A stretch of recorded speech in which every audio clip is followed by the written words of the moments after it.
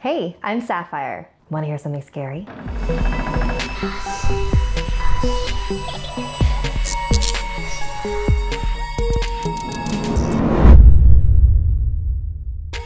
The shows you watch as a kid can have a lifelong impact on you. In this next chapter, I will be sharing a forum thread about a mysterious children's show that aired in Ohio in the 1970s. Enjoy this classic creepypasta written by Kris Straub. Does anyone remember this kid show? It was called Candle Cove, and I must have been six or seven. I never found reference to it anywhere, so I think it was on a local station around 1971 or 1972. I lived in Ironton at the time. I don't remember which station, but I do remember it was on at a weird time, like 4 p.m. It seems really familiar to me. I grew up outside of Ashland and was 9 years old in 72. Candle Cove. Was it about pirates? I remember a pirate marionette at the mouth of a cave, like talking to a little girl. Yes! Okay, I'm not crazy. I remember Pirate Percy. I was always kind of scared of him. He looked like he was built from parts of other dolls, real low budget.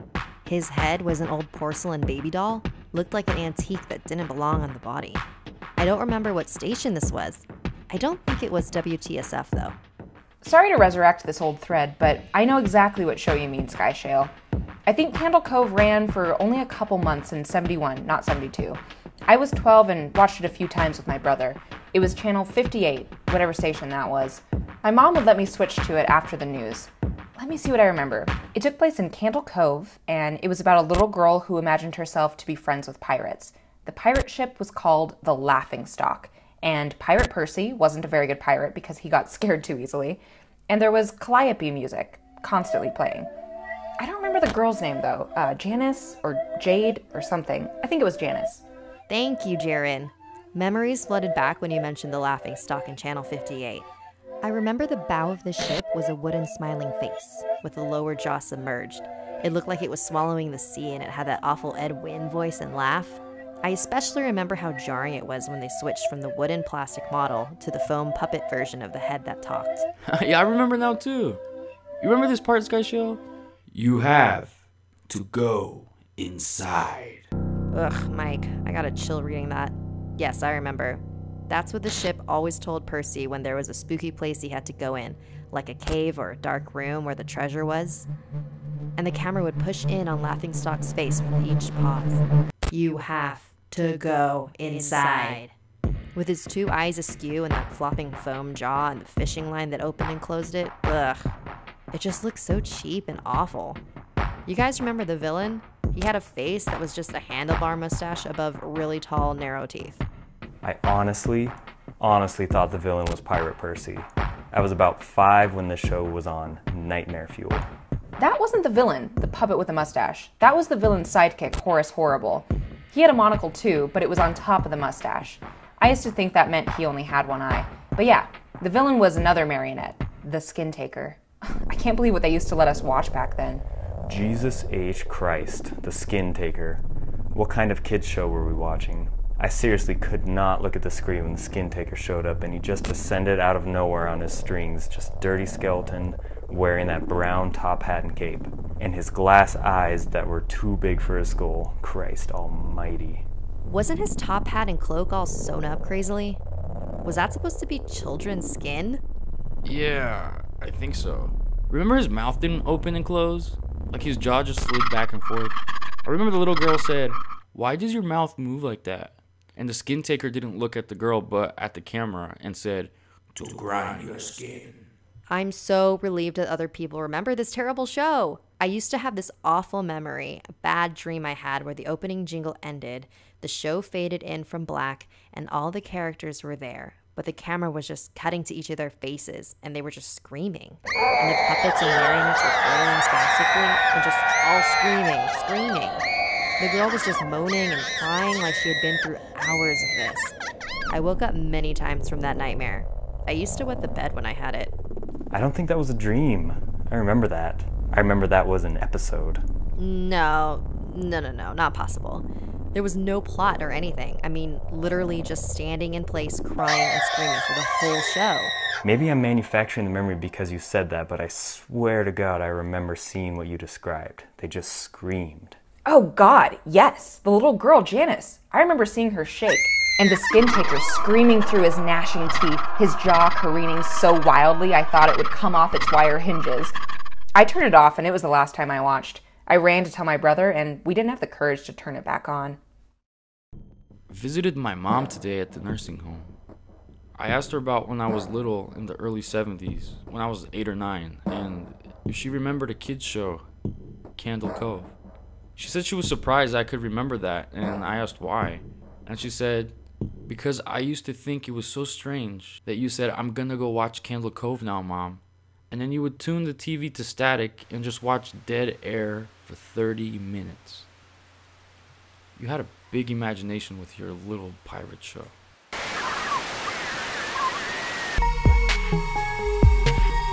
Legend has it that there are websites on the deep dark web where you can pay to watch a live murder.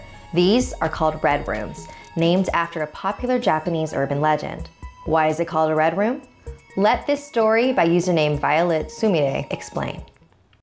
It was my rare day off, a day where I didn't have to worry about all the traveling and the chaos that usually accompanies my work, a day where I can just relax. Most people might spend it doing something active, going out camping or to an event or to play sports. I like to spend my break by being sedentary, cuddling up with a good book, looking up random things on the internet, and general lazing around are my favorite things. I was doing the second thing on my list when something strange happened.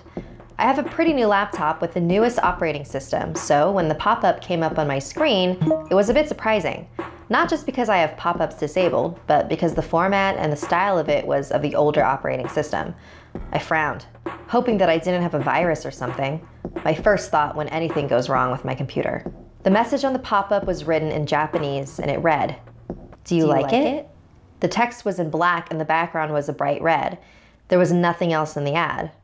I scrunched my face in confusion, but I figured that it was just one of those congratulations, you win a new game console type of things that messed up. The website that I was on wasn't the most legitimate looking. I shrugged it off and clicked on the big red X in the corner to close it out. I left the site as well for good measure and decided to get some tea before streaming some shows. I was only gone for 10 minutes, but when I came back into my room, the ad was there again.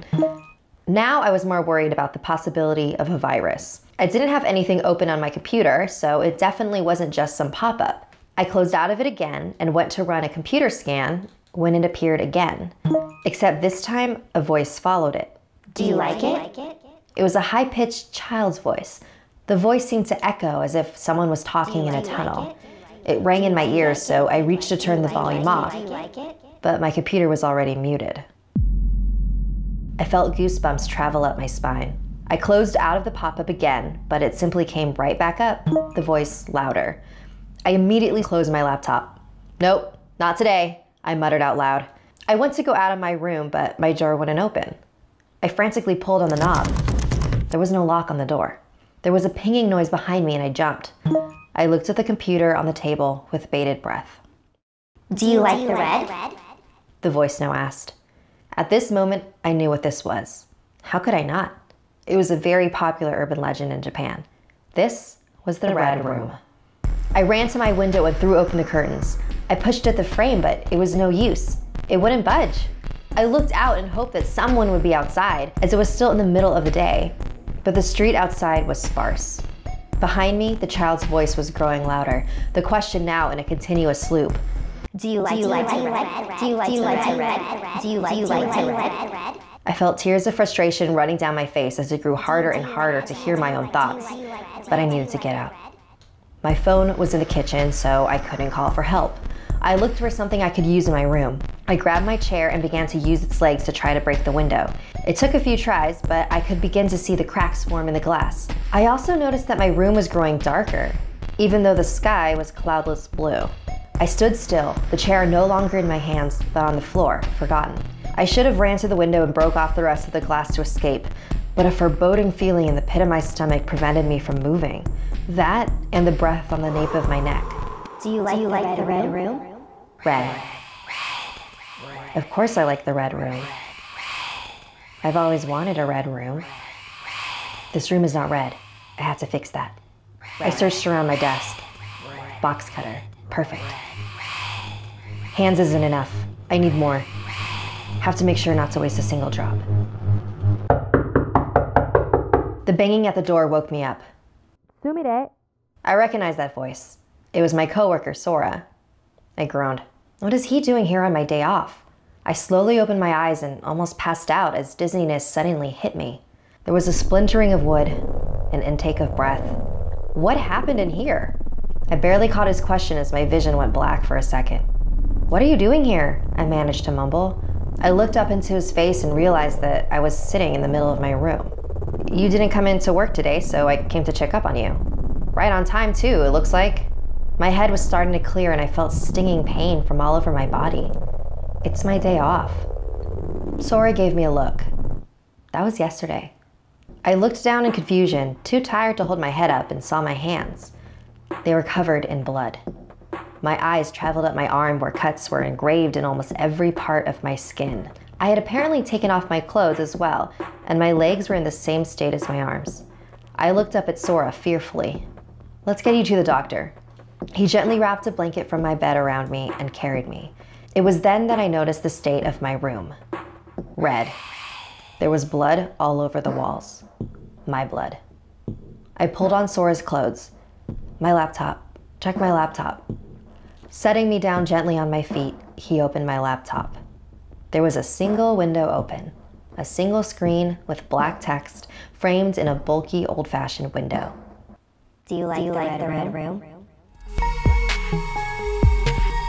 And now we close this volume's final chapter with a story written by username Amethystlocke. My friend Shelly sent me an email last week about her trip to Arkansas, where I'm from. We have been close friends since kindergarten, but she recently moved away for her career. Hey Sarah, I hope you're doing well. I know you're into all that horror shit, so I wanted to tell you about this haunted house me and Randy went to recently when we were in Arkansas. It's by some old guy named Mr. Wilkinson. He and his family decorate the house and it has some awesome scares. Randy found this on Yelp and has almost all five star ratings by like over 100 people. The house is very small though, but I promise it'll freak you out. Bring along your chicken shit friend Mindy. Address is 1124 Cherry, Highland, Arkansas. Let me know how you liked it. Love ya! Of course, I was interested, so I called her up for more details. First, there are going to be some cheap Halloween decorations out in the front, and some mildly scary stuff inside where you'll see some people standing completely still or laying down. If you walk slow, they will jump at you. It's a great scare, but if you get scared easily, just power walk through the house. It's not very hard to get through and exit to the backyard. Watch out for that fake blood stuff on the walls. It's hard to remove from your clothes later. But when you're in the backyard, that's where the best scares begin. Once you get there, you'll notice that there aren't any exits. So, after one to two minutes of walking around, the backyard lights will go out and it'll be pitch black. A very large clown with bloody red teeth will show up soon and take you somewhere. And then I don't want to ruin the rest of the scares for you, so you'll have to see for yourself. So, my friend Mindy and I get to this house on Cherry Road. We push the door open and it made a loud creak. We saw the cheap decorations outside the house, which were very lame and made me wonder why even bother with these. Once inside, we noticed it was a medium sized room and we couldn't see a whole lot except the carpet area because it was very dim. The only thing giving light was the television set. There was an obese man laying on the floor with vomit all over him. Next to him was a mannequin with lipstick and no clothes on. We slowly started to walk past him, but only thing on my mind right now was the clown with bloody teeth. We kept walking and followed the bloody trail on the carpet, which told us which direction to go. As we walked past the man, he made a very loud belch, which made me almost crap my pants. I grabbed Mindy and made a power walk over to the loud, staticky television set. It had two small red handprints on them. Next came the long hallway in which I could see the exit door to the backyard up ahead. Shelly wasn't kidding when she said it was a small house. As we slowly walked in the hallway, the clown kept appearing in my head, smiling with his crimson drenched teeth. We passed a closed door with blood smeared all over it. We heard screaming inside that room and then a loud gunshot. The sound really hurt my eardrum, to be honest. They have had to use a real gun for this sound effect. We kept walking and saw a bucket of red and yellow paint on the floor with no paintbrush in it. So far, this house was excellent. I couldn't wait to get to the backyard. But a part of me didn't want to go because I didn't know what to expect. This clown with the bloody teeth was in my nightmare last night, and he's been on my mind ever since. We heard a maniacal laugh from the room we just passed. The loud and deep voice spoke while laughing. Who's this? Then we heard the sound of loud boots walk towards the door and the handle slowly turned. Mindy and I were just about ready to scream and ran for it. We opened the door to the backyard and literally jumped the three wooden steps onto the grass. This was it. The moment of truth. I was literally shaking as if it was 10 below. The door which we came from shut behind us with a very loud thud. It was Shelly. I was shocked and happy at the same time, knowing that I had signal back here. So, did you like it? Pretty creepy shit, huh? Shelly, I'm gonna have to call you back. We just got in the backyard. But yes, this was one of the best scares I've had so far. So, can I ask you, where is this clown going to take us? You're gonna find that out for yourself. I don't want to ruin it for you. Well, call me back when you're done with the house. Bye! We waited. Minute had gone by very slowly. We can hear the crickets chirping in the distance. Two minutes, three, four, five. We were really getting restless on where this clown was. I hope he wasn't going to jump scare us from behind, so I kept looking back every few seconds. I called Shelly back. Hey Shelly, we're still waiting for the clown to show up, but while I still have signal, Minnie wanted to know once we get back on the street after we're done, from Cherry Road do we make a left or a right on Hillview to get to the freeway? Did you say Cherry Road? This house is on Cherry Lane. What house are you in?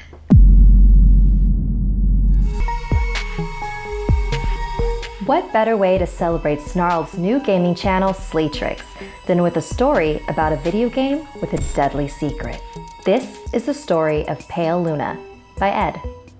In the last decade and a half, it's become infinitely easier to obtain exactly what you're looking for by way of a couple of keystrokes. The internet has made it all too simple to use a computer to change reality. An abundance of information is merely a search engine away, to the point where it's hard to imagine life is any different. Yet, a generation ago, when the words streaming and torrent were meaningless, save for conversations about water, people met face to face to conduct software swap parties, trading games and applications on Sharpie labeled 5 and a quarter inch floppies.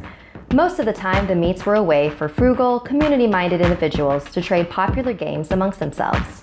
However, a few early programming talents designed their own computer games to share amongst their circle of acquaintances, who in turn would pass it on until it had its place in the collection of aficionados across the country. Think of it as the 80s equivalent of a viral video. Pale Luna, on the other hand, was never circulated outside of the San Francisco Bay Area. All known copies have been long disposed of.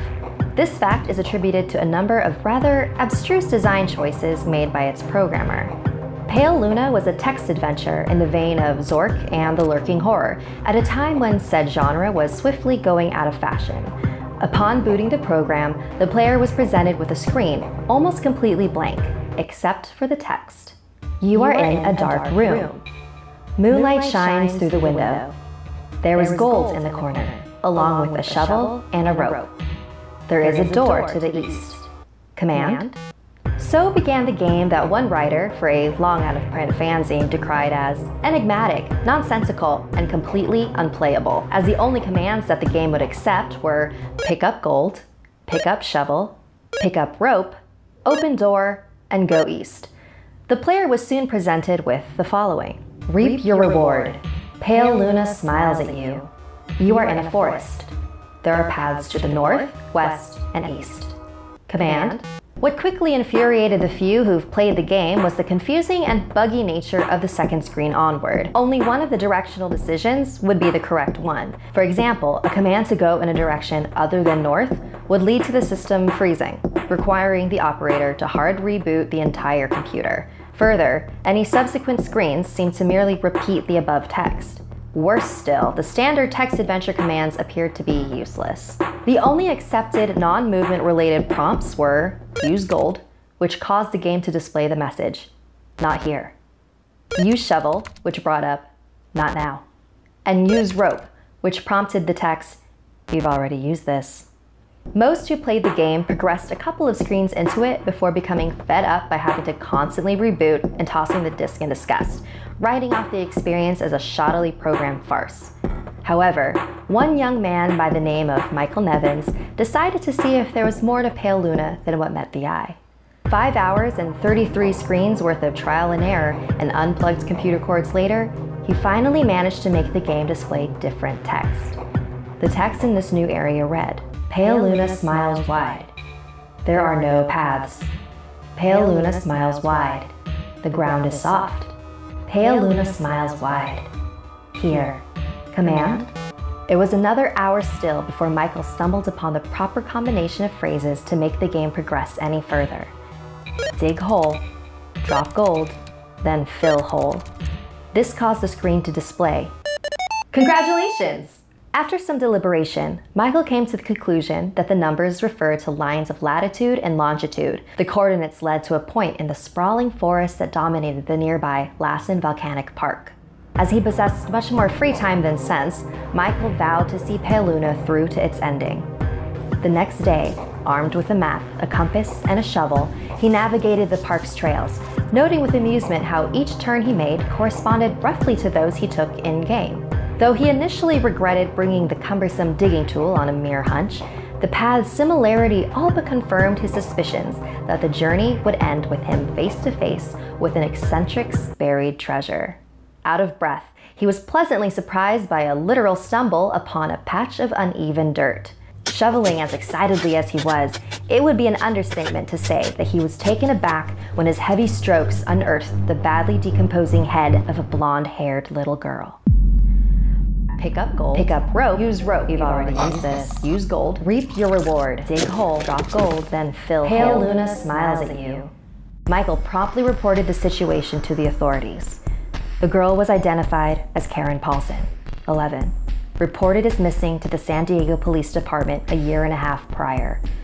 Efforts were made to track down the programmer of Pale Luna, but the nearly anonymous legal gray area in which the software swapping community operated inescapably led to many dead ends.